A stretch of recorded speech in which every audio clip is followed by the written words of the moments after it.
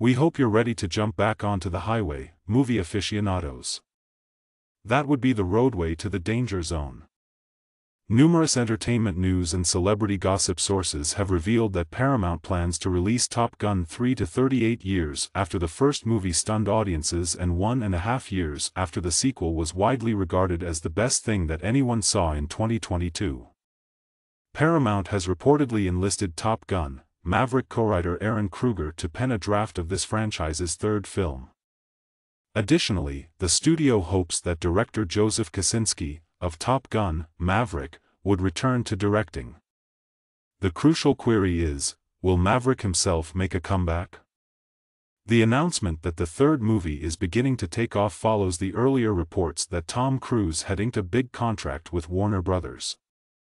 Thank goodness, the deal is non-exclusive, which means Tom will be in a great position to play Maverick again. There isn't really any doubt about his comeback because the movie wouldn't exist without him. Additionally, it has been suggested that Cruise will have to approve any possible script. To be clear, Cruise has not yet said that he will be in Top Gun 3, instead, he is presently in production on a new mission, Impossible Picture. Miles Teller and Glen Powell, Cruise's younger co-stars, would probably return for more thrilling action at high altitudes. In November 2022, Jay Ellis, who played Reuben Payback Fitch, said Fox News Digital, my whole cast, we would all be there in a heartbeat. He continued, saying, we would be grateful to be there, without mentioning any specific names. In May 2022, Top Gun, Maverick debuted in theaters and went on to become both the second highest grossing movie of the year and the highest grossing movie of Cruise's career.